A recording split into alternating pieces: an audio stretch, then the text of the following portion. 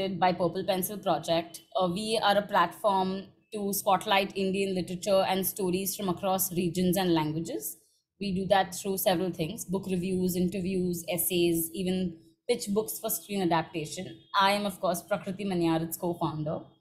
And uh, today I have with me Pervin Saket, um, who's award-winning novelist, poet, screenwriter, which I actually didn't know till I went to your Twitter bio, um, and uh, does a host of things. She's a school textbook editor. She's a literature curator, and um, as well as a poetry editor, and has co-founded the annual Column Writers Workshop.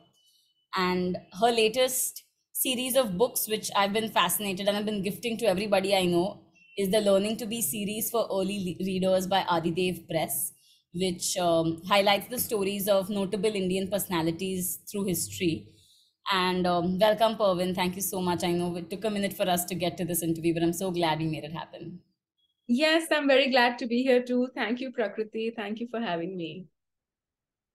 Let's dive straight in. I want to talk about the Learning to Be series by uh, which you've you know authored and it's been illustrated by AdiDev Press the breadth of the personalities you've covered in that is astonished me. There are people that I didn't know, women and men uh, across India's history. So I want to talk about the curatorial process that you uh, went through to pick whom to talk about, why to talk about them. Could you shine a little light on that? Yes, absolutely. So uh, I have to admit that uh, the idea for the series uh, did not come from me. This came from the publishers, uh, Chitwan Mittal at AdiDev. She was very keen that we should uh, work on a series of books for young readers, which is oriented around um, people and history and events uh, related to India. And when she spoke to me about this, uh, I was immediately interested because, as a very passionate young reader many, many, many years ago, I did not quite have uh, access to these kinds of books. And um, I did not even realize it then that there was a gap in my life. And like many of us growing up, we associate literature with something that is produced in the West. And we are simply consumers of it. Uh, we're not people who uh, who create history uh, we, we, we just read about it and study it um, and passively receive it. So, uh, so I, I certainly uh, was very interested in working on a series like this. And like you mentioned, it's called the Learning to Be series. And uh, something like that, as important as it is, it can very easily become preachy and didactic.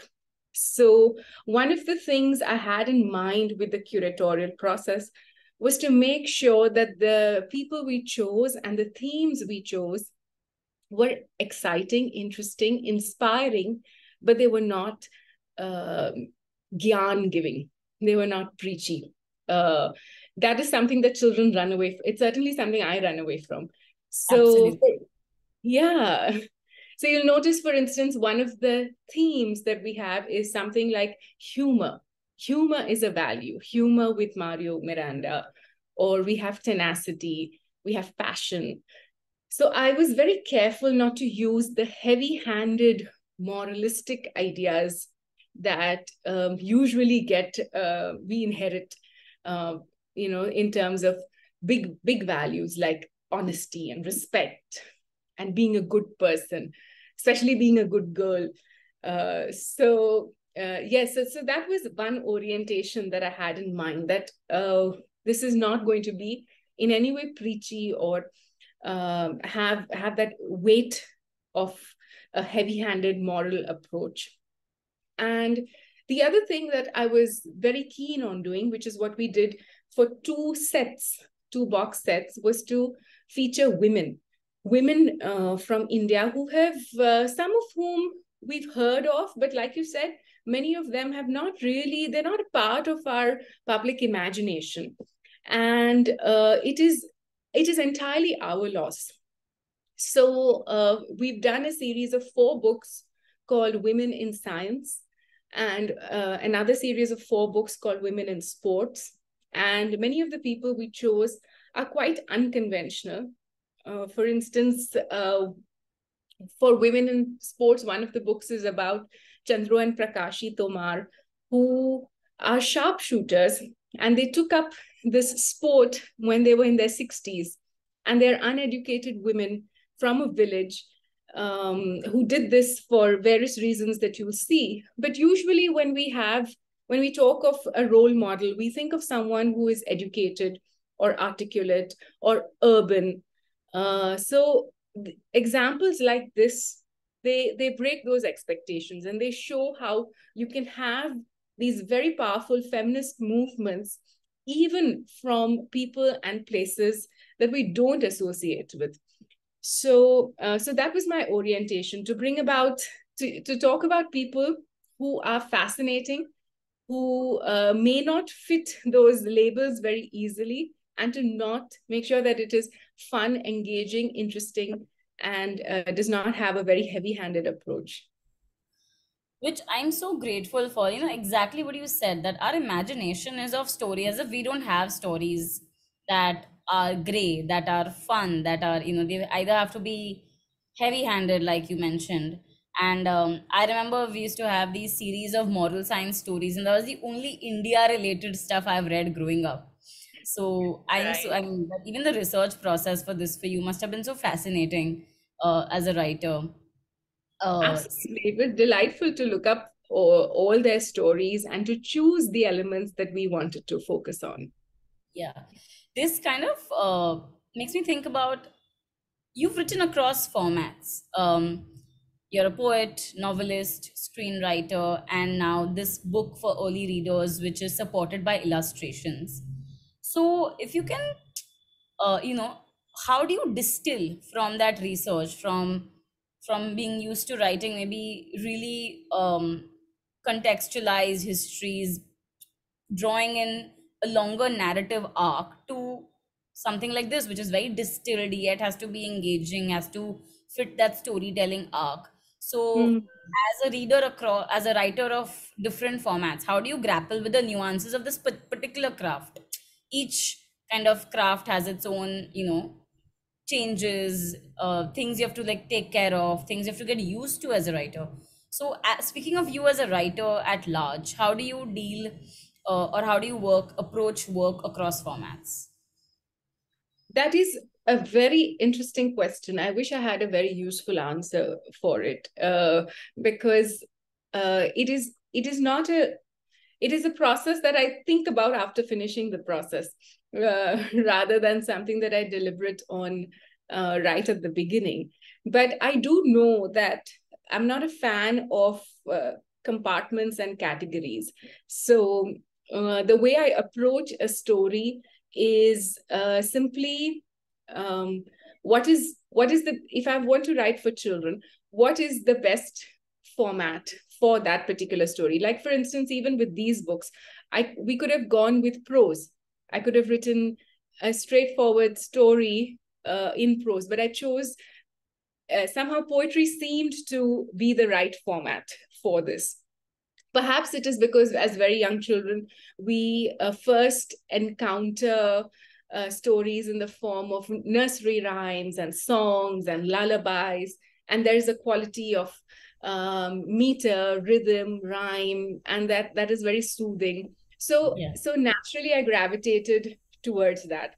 If i i just finished working on a poetry collection for adults. So of course just that that orientation is entirely different um, and the level of uh, complexity that i will push for in each poem uh, would be quite different and um, yeah so writing writing uh, fiction is uh, comes is its own uh, special journey.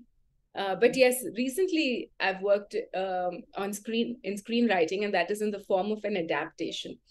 Uh, so I'm I'm I'm not able to disclose much about that project, but uh, oh. that did have um, its own learning curve, which was quite exciting because it was a very internal story. You know, a very uh, a story that is felt and a story that is deliberated upon, and we have to translate that into scenes and visuals. So that came with its own uh, exciting challenges. Yeah we're, we're learning all the time with all these different it almost sounds like you are doing all of this simultaneously so i don't know how but kudos to thank you thank you. That, the, that is the, the process of writing is actually quite messy uh, in the sense that uh, right now like you said in the bio it all sounded so sorted that i read this and this and this and this but actually the lived experience of writing is quite messy uh, i'm doing something in the morning i'm doing something late at night. That those are usually the two slots because i have a day job as well. So uh, so it's it the the experience in my head is a lot more chaotic. And it's so true. I mean um i think the creative mind right? Like the chaos is in the head but um like good design. No one can see it. No one can see the chaos. They can only see the final finished edited product um, focusing a little bit more on your writing career, you've written extensively in journals. Your work has been published across journals across um, the world. And um, from having been an aspiring writer to having co founded Purple Pencil Project, I know that submitting to journals is a very specific science or art or a mix of both. I don't know what but uh, you know just want to take a step back and maybe reflect on your journey as a writer as you've grown uh, right. from those days of you know extensive uh, journal submissions. And how did you navigate those early experiences early um, you know early encounters of being a writer out there putting your writing out there? If you can talk a little about that journey as well. Sure sure. I'm happy to. Uh, in fact uh, now fortunately i have the perspective of both sides of the journal since i'm now working with the bombay lit magazine as uh, their poetry editor. So there are there are both these areas that uh, i have discovered uh, and initially yes uh, a new writer might find it a bit daunting to get their work uh, published in journals but some of that might be because uh, we rely on the journal selecting us rather than us selecting the journal. What I mean by that is to have to to send your work to specific journals which are aligned with the kind of writing that you are doing and that you're interested in. So one of the ways to filter uh, who you send your work to could be, for example, supposing I'm following a poet who I uh, admire and I look at their bio and the journals they are published in, then I know that uh, chances are that this work will be aligned to my themes, my style, my ideas. So uh, initially, I find that writers have a very high rejection rate because they are sending it everywhere. So, so one way to make sure that uh, you're saving your own time and heartache is, uh, really filter uh, who you're sending it to. And that also means um, being a reader of those magazines. So I would, like today, I'll, I'll send my work to magazines that I really follow and really uh, enjoy reading myself because not only because there's a greater chance of there being a match, but because there'll be greater satisfaction for me to be featured in that. So so initially writers are, might be just happy to be everywhere but then you will find that uh, you have your your dream uh, publications and presses. So i don't think we should wait for that. You can uh, have that idea have that filtering process in mind right from the start and establish a relationship with that journal at least one of uh, being a subscriber or being a reader and in the process you will find that you your relationship will develop into something more meaningful. So that is certainly something that will help.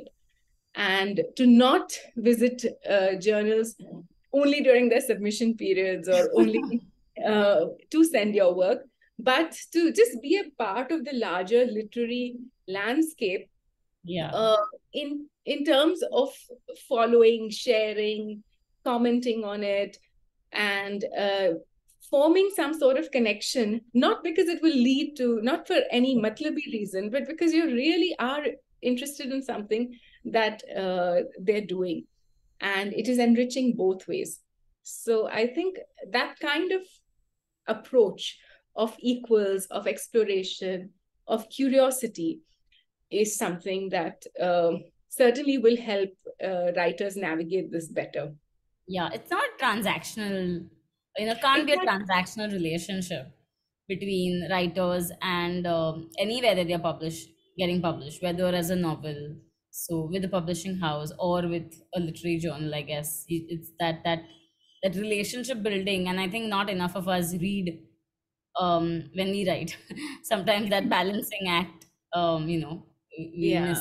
So, for instance, uh, if I if I talk to the people who handle the web of uh, the Bombay Literature uh, Literary Magazine, I'll find that you'll you'll see that the most number of clicks on our website is on the submit page. uh, and that is true for pretty much all journals. So uh, it just shows that um, we do tend to read much less than we write. Uh, yeah. And that is something to rectify. From what I've read about you, that's not a problem with you. You somehow found the time to continuously read, even outside of, um, well, professional, like reading is just something you do all the time. And I, I guess all of us as writers begin as readers, right? Reading is the hub that kind of branches us into whatever whether it be our professions as writers or other um, you know jobs that we may do. Uh, so you know using that as a segue because you also mentioned a lot about reading the magazines you submitted to. So what uh, you know uh, I know so many years of reading. I'm not trying to boil it down to tell me your top favorites, but just kind of reflecting on um, reading as a journey also right when you as you grow up your reading tastes change your reading um, capacity changes, time that you can give changes. So, reflecting on that a little bit, and then maybe mentioning the poets and writers that have inspired you or taught you, or whom, whose work you just genuinely admire as a reader alone. If you can reflect a little bit on that, um, we'd love sure. to Yes, that is a that is a pleasure. That's a delight. In fact, writing is uh, is a you know it's you know in uh, production and economics you hear of uh, byproducts, you know, which are not really the aim of the process. They just happen by and by. So writing is for me something of a byproduct. My real passion is uh, reading. It is. I I tell people that I I actually wanted to make a career out of reading, but there's no such thing. It doesn't exist. so then I had to find the the closest uh, um, you know practice that is something that the world will recognize as uh, as work uh, and allow me to quietly read. So uh, yeah so i've like i like i mentioned earlier i grew up with a lot of uh, hunger for books. I had a lot of books around me through things like libraries etc but we could not really afford to buy books. So uh, so i spent a lot of time in lending libraries in the school library. In fact, one of my mo- uh, most touching memories today is how uh, when when I would finish school, we had this uh, little section in the library which was open for half an hour extra, and I could sit there and read, and my dad would come and pick me up after that. And but but they had a policy by which you can a student can only take issue one book at a time so I would issue a book and start reading it. And then by the end of the half an hour, because they are these slim books, I would be almost done with it. And that would make me very anxious because that means that I cannot issue a new book to take home uh, for the evening. But there was this very, very kind librarian, and he would wait. He would uh, wait for me to finish the book so that I could issue the next one so that I have something to take home. And he didn't know me or uh, talk or anything of that, but he just saw that hunger and he saw that somebody's interested. And um, it is kindnesses like that which uh, really sustain us, and which many years later you feel inspired to, to in some way uh, pass that on to whoever else you might meet in your literary uh, encounters. So, so yeah, so I, there was a great hunger, uh, but much of what I read was written by people who were uh, white or male or dead. and uh, that um, that was not something that I even consciously realized. Um, but it it does put a bit of a it does put your put the brakes on a person who's none of these things and aspires to be a writer. Much later, I discovered fascinating work uh, in English and in translation from Indian writers. And uh, how did the discovery happen? Just you know, curiosity, because I think all of us, my theory is that we all just stumble into it. No one, there is no conscious method to, uh, and there is no rational way for us to be introduced. I do not, when I was also growing up, I had a very similar experience as yours. And it's not like there was, uh, you know, these books were in the bookstores, visibly in the right. bookstore. They, they were not, they would not come up in Google searches. I mean, that's a whole different game of algorithm that, you know, we're still only just unpacking the effects of. So how I just yeah. want to know how did you come? Mine was in an MA classroom uh, it was a module we had uh, indian literature and translation and um, and i was just i being the nerdy person i am i said nahi translation में क्यों मुझे तो हिंदी समझ में आती है तो हम गुलजार साहब को हिंदी उर्दू हिंदी स्लैश उर्दू में पढ़ेंगे so that's how I stumbled into it. Um, so I'm very curious to know how did you uh, find your way to Indian writing? Yes, it is quite similar actually, in the sense that I did uh, do my education in literature. So first my bachelor's and then my master's. So much of so we did have papers on Indian writing, and mm-hmm. uh, but but what what was very interesting was Indian writing was one paper, and Shakespeare was one paper, and they had the same weightage. So well, yeah, we have one writer and same marks and then all of indian writing i know uh, i was i felt that and we used to like the modules right there was more american um and english uh, european british stuff than all of the other voices like african and indian combined so Correct. the yes, yeah, yes. played a huge role in that syllabus. yes, yes. But now, fortunately, uh, you know how life works its circle. Uh, I'm now on the board of studies at Xavier's, where I where I studied from, and now I can see I can see how much the faculty and the staff are trying to change this and bring about a difference. So it's very hard to so see happy. that. So happy yeah. that including so writing by um, the LGBTQ community, including uh, lots of writing that would otherwise be uh, just not within the radar of literature studies. Uh, all of that is now being made accessible. So that's very hard. That really, that is beautiful. That really is. But I, I was, I cut you for on your writing journey. Please continue. I, I know. I uh, yes. So no. So so actually, yeah, it was a natural um, shift. So yes, that's how I was introduced to more contemporary writing. I remember in my master's this uh, text that we had by Ntozake Shange, who wrote for colored girls who considered suicide when the rainbow was enough.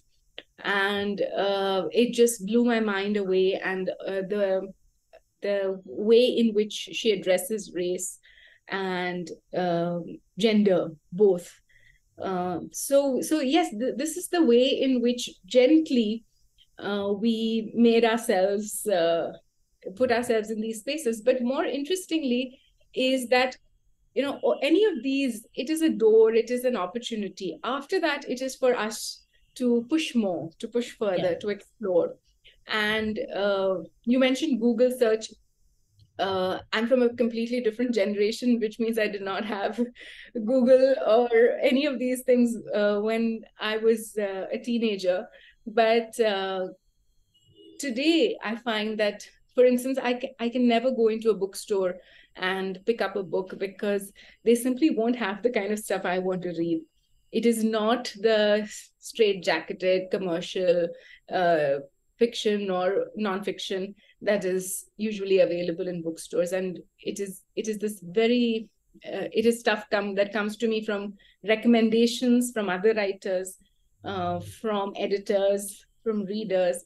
And today i'm very lucky because i get to read books not only after they are published but in the process of uh, going through various drafts because uh, writer friends will send their stuff or uh, so so it's it's very exciting to be a part of the behind the scenes process from being this passive receiver of and uh, this hungry reader where anything will do. And i really am a person who who compulsively has to read. If i'm brushing my teeth i will read the ingredients on the toothpaste if i'm stuck stuck in traffic i will read the numbers on the various car number plates and do mental calculations of those. Now i don't know whether other people do that but uh, yeah i'm always working with symbols and uh, there's a buzz. My my head is always hot mm-hmm. because of all the activity. So so yeah from that space to now see something behind the scenes and look at how um, something evolves from a very initial draft to something that's more polished? And what are the considerations? What are the processes? It's quite it's been quite an enriching journey. Yeah, yeah and to grow up a reader is so special. I think it's um it's just I, like you know i wish more people had access to those to libraries to books. I don't think a lot of us you know like you said we all rely on the generosity of someone. Uh, i have had a similar experiences and i'm not in my teens actually. I'm well into I'm very very close to my 30 30th birthday. But uh, so i i felt the same you know. I no, no, I, meant, I meant historically not, know, not but uh, yeah no i'm just uh, i'm just yeah. joking around here. But I, I, get it. Um we had uh, friends would you know i'd borrow books from because we didn't have a lot of money to buy that many books. You know, we'd buy them at school fairs once in a year or twice in a mm. year each semester. But we would not, you know, we cannot hoard books as I could, as touch would have the privilege to do now.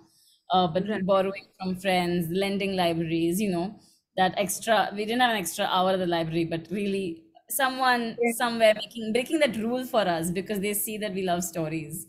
Um, in fact, uh, outside my house here, uh, we have put up something called the Honesty Bookshelf, which is this uh, bookshelf from where anybody can pick up anything they like and they can finish reading it so back.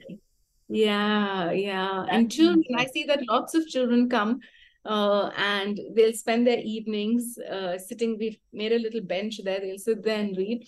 And it's not only that, it's very heartening for me to see that even people passing by uh, residents, uh, visitors, even uh, delivery executives uh, from various apps, they will come. They'll they'll pick up a book and go back. So it's very it's wonderful to see uh, that kind of influence. That's lovely. Uh, that gives me an idea. I should, you know, propose it to my the community uh, manager of my building. um, that is lovely. But quickly to just talk. I mean, I know we're speaking about reading. I want to segue back to writing because I read this about you and it has been, I have been in awe of that trick. In um, one of the interviews, you mentioned how you have a writing quirk, which is when you open your Word document, you write in white ink to resist the urge of self editing while you're writing. Yes. Which honestly, malab, it's brilliant. I have thought this for the last few hours since I read it. So like, why? This is why have I not thought about this so far? Uh, mm. So I want to, you know, a lot of our viewers uh, are writers and readers, but for the writers, others, mm. what are the other hacks that you have that help in the writing process? Because, like you said, it's chaotic. You know, people, you know, our minds are not as organized as our final drafts look like. Uh, and we have to kind of navigate weird obstacles like how do I not edit? Uh, so what are the other little you know hacks and um, DIY techniques that can share with our writers? Sure, let me think about this because it is true that sometimes uh, the biggest obstacle in our writing journey is our own heads. Uh, we we need to find a way to get out of the way uh, so that the story can proceed. And i am i am trained as an editor. I've been an editor for 15 years. So it is not easy for me to switch that off uh, just because it's a first draft uh, because it just it that brain is and and of course in the room you have all the greats sitting on your shoulders when you're writing your first sentence and they're all looking and they're all analyzing. So uh, one way to switch that off is to simply not see the text, which is why uh, you you turn the text color into the same as the page color.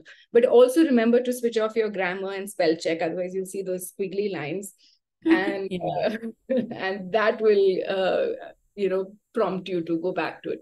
So so more more than thinking of it as a hack, I think of it as a way to you know it's it's more of a process of recognizing what is your own obstacle. In my case it is my editing mind which is my own obstacle and mm. then trying to find a way to navigate that. For someone else it might be time.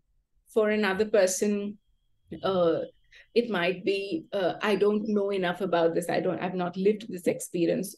For an i uh, for another person it might be language. Uh, so i remember that uh, i had a writer speaking to me who um, who, who, who was unsure about um, being absolutely perfectly fluent and grammatically correct uh, with their English. English was a second language for them. And so we had a chat and they decided to write the story from the perspective of a person who does not speak English as a first language and is learning that language.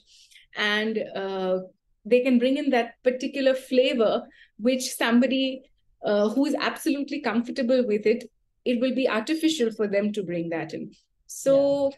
much of this is about uh, recognizing it's more of a mirror like recognizing what is it that stands in your way and then finding a solution to that and perhaps even turning that exact same thing into a strength rather than seeing it as something to be fixed. Yeah, that's a good uh, reminder for all of us to look within first rather than just borrow. I think first time writers have, you know, um, especially because so much information is available, it's a tendency to just go and look at what others are doing without first going through that process yourself and recognizing your own, um, you know, quirks and barriers that can stop you from writing continuously or progressing. Absolutely. Um, Right. So instead of thinking of it as uh, as as hacks or DIY, it's more interesting to think of it as an introspective exercise yeah. that will that is specific to your process. Yeah, I love that, and I have so many things to say about that writer um, and language barrier, but we'll save that for another conversation. Um, uh, just you know, I, I want to discuss that with you. You have frozen on my screen. Okay. Um, finally, just to keep our this conversation to its you know uh, time limit, what are you working on right now? I know you mentioned a book of poems for adults. Um, is you know and a couple of sc- a screenwriting adaptation project. Um, anything right. else that you're actually working on? I know I've read I've read how you always you're always writing. Some ideas always a work in progress. Some goes in the unpublished file, rightfully so. Lots according. of it. Lots yeah. of it goes in that yeah. file. but yes i've uh-huh. just finished uh, finished a collection of uh, poetry so that is that has been put aside um, but i have started uh, writing a new book about i'm not quite sure what form it will take yet but um, it is going to be about a girl growing a parsi girl growing up in bombay uh, during a very particular time period and a particular uh, social situation. So uh, let's see what shape that takes. Uh, it is very closely linked to some of the things I have seen, lived, heard. So it is a book that uh, perhaps my life has been leading towards. So quite exciting about excited about that. And of course, we have more books coming out from the uh, Learning to Be series. Yes. So yes, so much to look forward to there as well. Absolutely. I know that I'm going to connect with you about, um, you know, the upcoming books as well.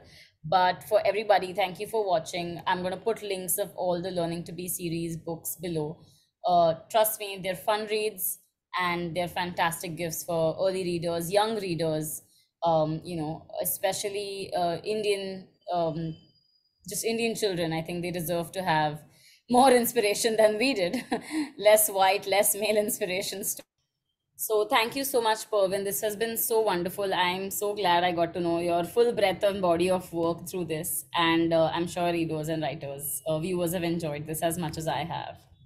Thank you, Prakriti. It has been a pleasure. It was a very, very interesting conversation, and I look forward to more. Thank you. Absolutely. We'll be in touch. Thank you, everyone. Bye bye. Check out the description below.